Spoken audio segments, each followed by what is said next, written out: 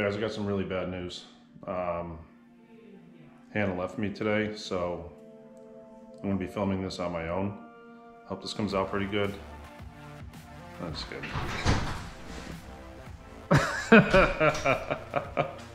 All right, let's get to it.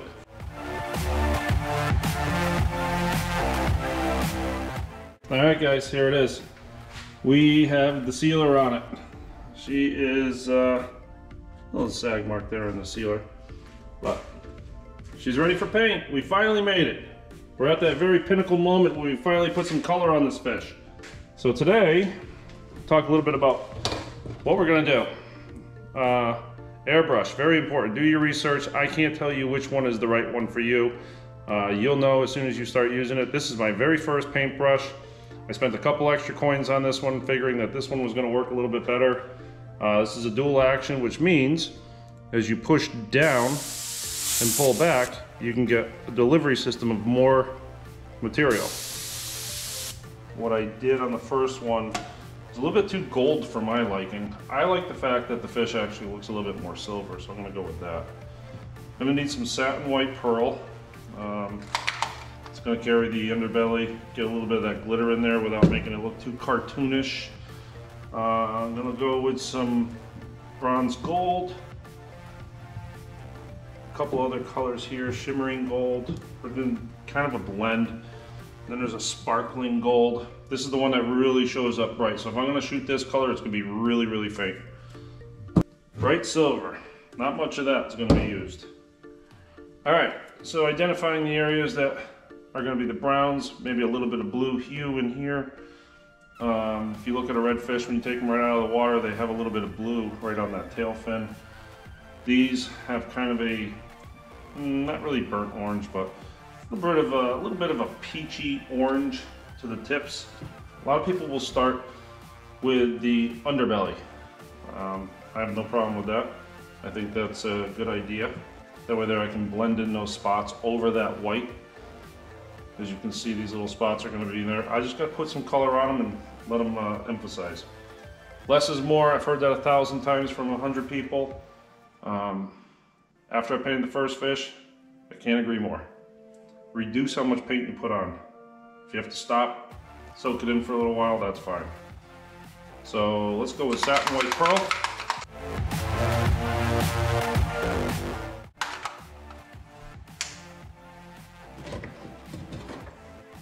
Just takes a couple drops. Now because this has a glitter in it, right after you shake it, put some in your gun immediately so that glitter doesn't float to the bottom. And you get a good amount of that in there. It's really fine, so um, make sure your gun is shooting the way you want it.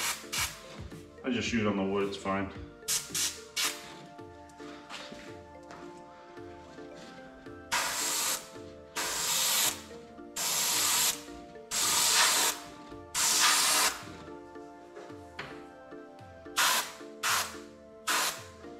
Figured I'll show you real close up here how this looks. So right in here is some of that original epoxy sculpt. That right there is just a real fine glitter. Start laying little coats of that over that.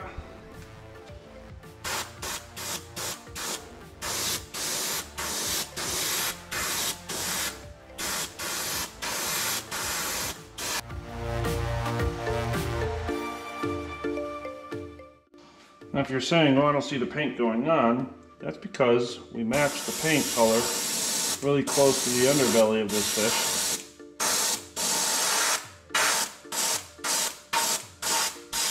And that's what I want. I've got my gun adjusted so that if I pull back full trigger, I'm getting enough of that color on there for the areas that I'm painting.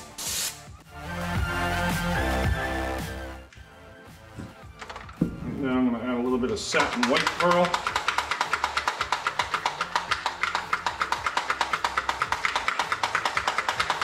These are water-based paints, so they're not to have too much fumes. That's why I'm not wearing a mask right now.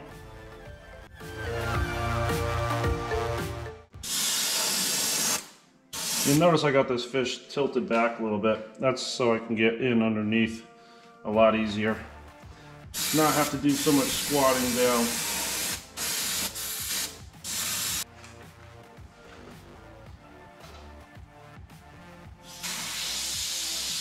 And put a real light coat of this pearl down that main body line.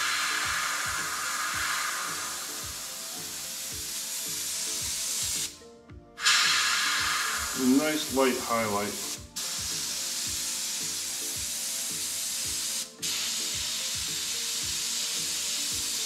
Now you might not see it, but I do. There's nice light mark of paint pushing right down that line. Probably see it now. I got it loaded up here a little bit.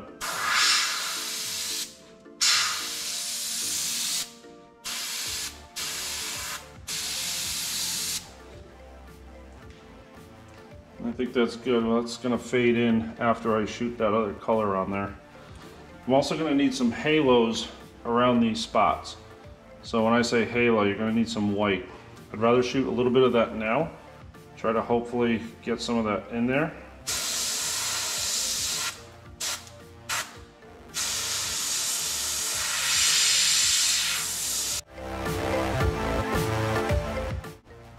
When you're doing color changes, it's a good idea to have a couple solo cups right next to you. You're gonna have to put some clean water in your gun, kind of purge it through. I like to just put a little bit, dump it out. That'll work. Have yourself a towel and shoot some excess through the gun.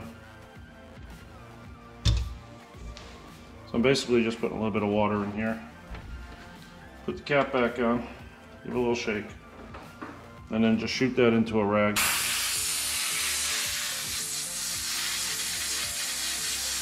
Run all that color right through it. Clear your gun. Pick your next color and move on.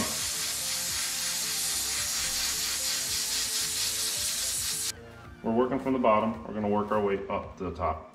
We're gonna fade that in as you see it now with that nice light color. We're not gonna worry about the spots too much right now. I wanna just start getting a base coat on the rest of that body. I believe that transparent brown is a good choice. Uh, you shoot it lightly, it'll be good. It'll allow some of that tan to more chocolate brown of the scales that's left behind to come through. If you need that a little bit right in here, darken up those tips, give it some definition. A couple drops. This is going to be a real light application of this color because it's so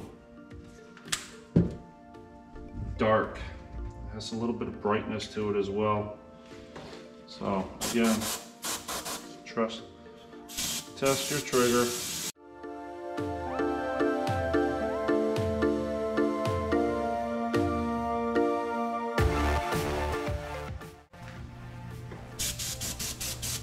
Highlight color. This is not a main body color.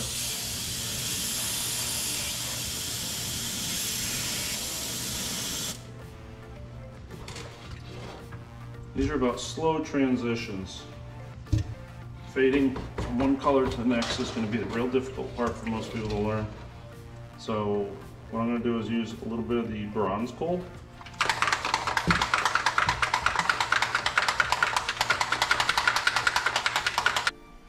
So this bronze gold is very, very strong. I'm hoping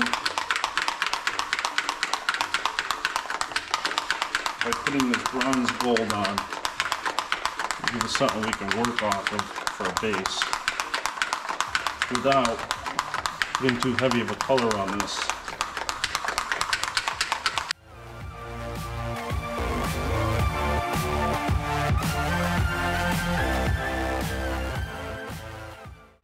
This one here is called Shimmering Gold. Um,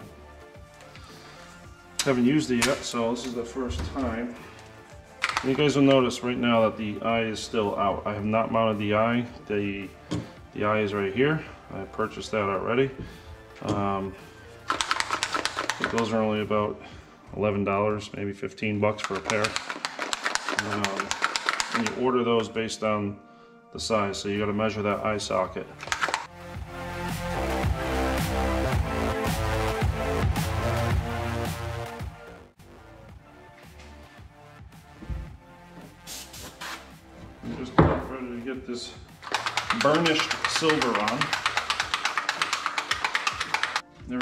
Dramatically different in daylight, so using lighting like I am, overhead fluorescent, and a couple camera lights, things change. You open the door behind me, let natural light in.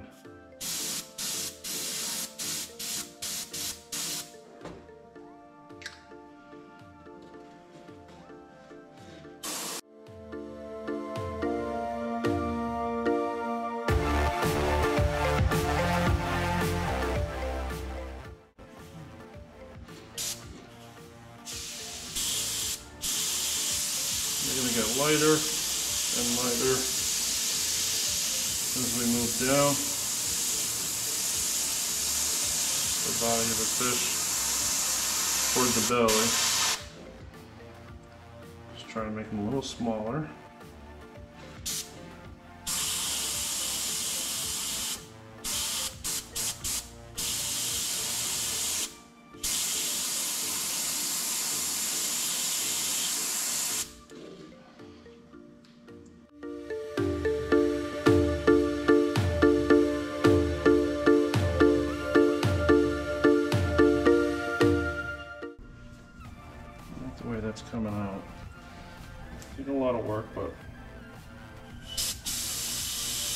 Should come up fairly well.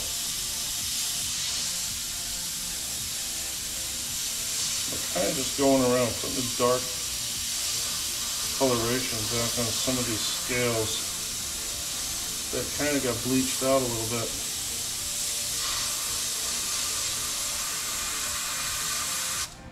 When uh, when we had it soak.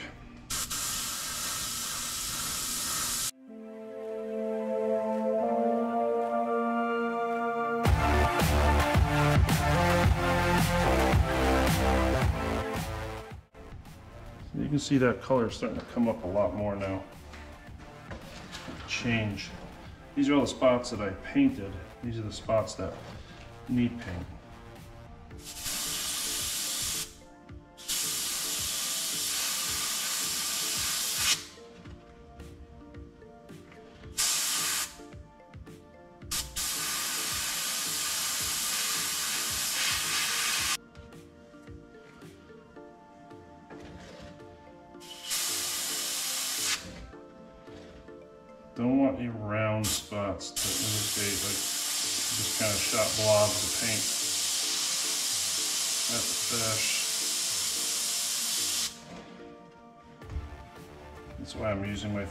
Back in, just give it a little smudge. So it's such a light amount of paint on there anyway. It's not gonna be bad.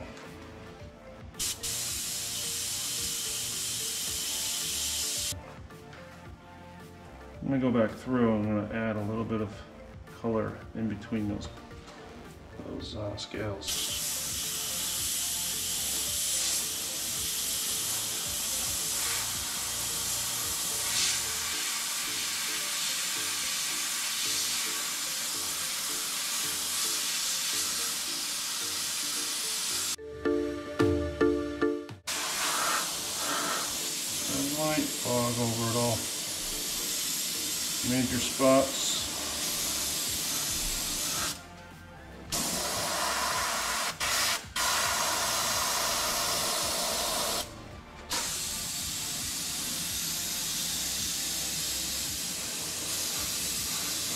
It all blend together.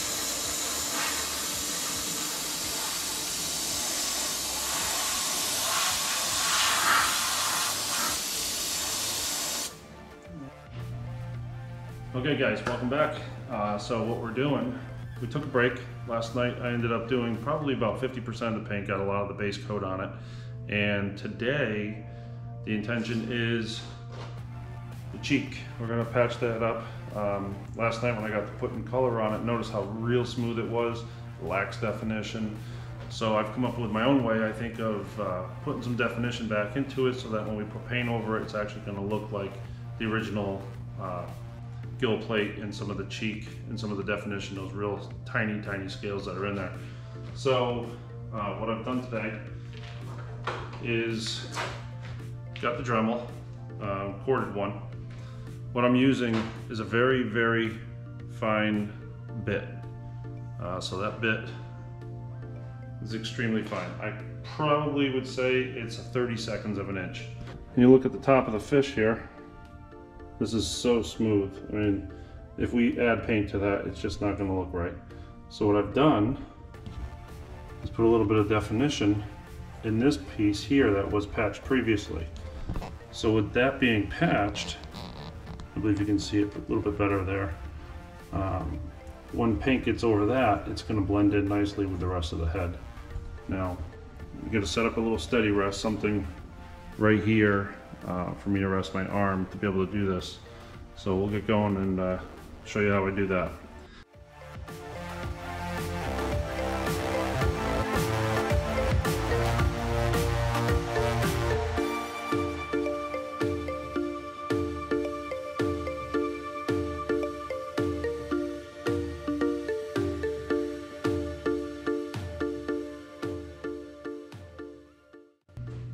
So we we uh, achieved the definition I wanted out of that.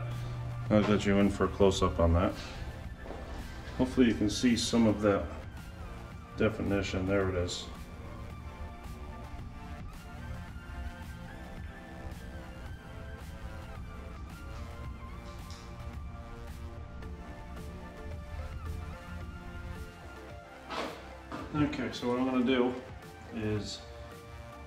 Little bit of white to each of those scales going around. Use the same technique we used yesterday. Going really slow, just highlighting each scale, and then we're going to put the darker color throughout.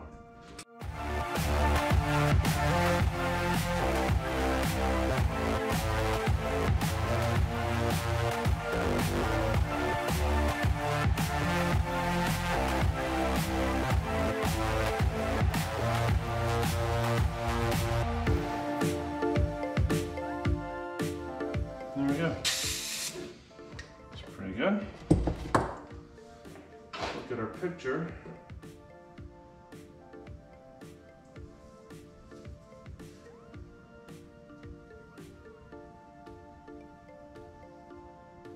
touch of like a light blue, almost like a satin.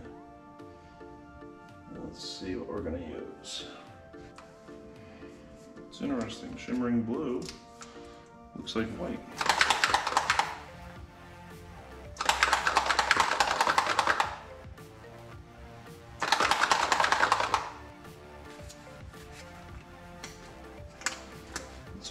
And take a look at it.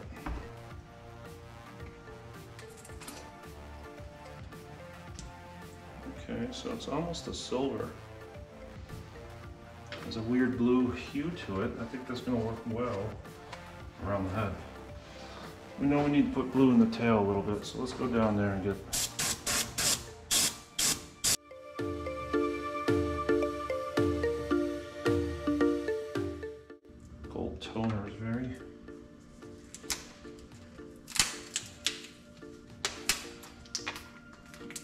We don't know anything until we try. Right now, it's very rainbow color. You can see that yellow came back in there.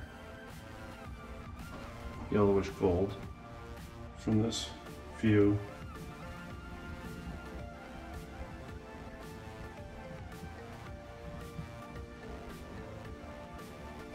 to tone these down a little bit. This is all very dark. And it's too purpley for me. Even though it's a nice color, it's just not right for the fish. We still have a lot of work there, piece by piece.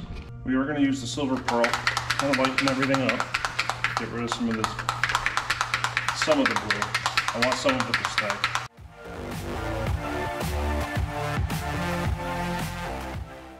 airbrush guns work the best. You shoot a small amount of paint. Um, shoot too much and it stays wet. Shoot too little, you're not gonna get color. Shoot the right amount, it sticks, and you have a good result. It's a good idea when you're trying to add color to an area that you don't want the backdrop to catch the color. To use something to keep it from loading up paint on it.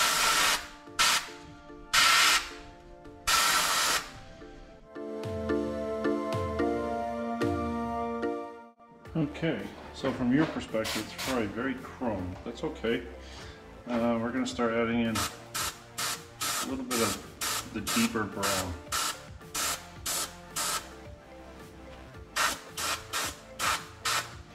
Just add a little bit of this brown to each scale.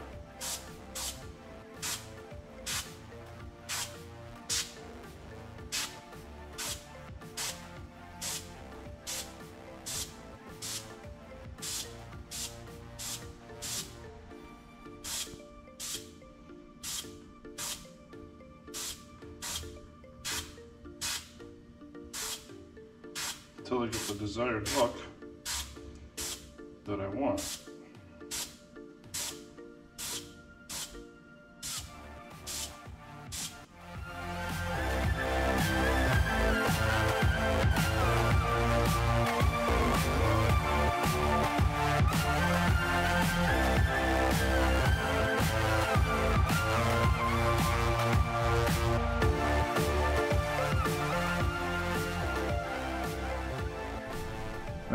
So this is it. This is the completed fish. Um, I know I didn't finish this on camera, but you know, that's what happens when you end up screwing up some of your footage and then you end up throwing it away by accident. So here it is. Um, what I did was I clear coated it when it was completed. I did all the painting. Um, all the colors, everything stayed the same. I haven't changed any of it. There's a couple things that I can see on it that I would wish that I had done a little bit differently before I set it on the driftwood. Um, but I do want to show you the back side of this, give you an idea of how I mounted it. So basically, if you look here, I drilled a couple holes in the driftwood. This is metal coat hanger. I just used a pair of metal cutters and snapped that, made a couple rods, and then slid those inside the foam and secured it that way. So it does have a little spring to it, but when it's sitting on a mantle or sitting on a bureau, it doesn't move at all. Um, you can see some of that stitching is still in there. And this is all the scales that were um, unfinished. And uh, my nice little knot. Again, I did not put an eye in this side because of the curvature of this fish. Nobody's gonna actually see that. Uh, but I do want to show some of the stuff that I did. And I found this piece of driftwood uh, just lying on the side of the, uh, the beach. So what I wanted to show you was some of those repair areas. I actually have an area here, all of that skull had a lot of patchwork done in it. Let me lean over. And all of these markings here, I did by hand. I used the Dremel. I think that's included in the video. If it's not, then um, I can go back and then give better description to it. There's a lot of clay work around the eye and there's a little bit of a repair down here. And it's still sitting there a little bit gray, but not a lot of people notice it. What I did do differently on this fish was I painted the backside of each scale to try to give it some definition. I think what's lacking on most of the fish that I've done so far was the definition of the scale. And it's really hard to get that it's really hard to get that painted and do it properly. So, you know, I'm working on that, trying to make that improve. But the next fish that we have set up is going to be red snapper.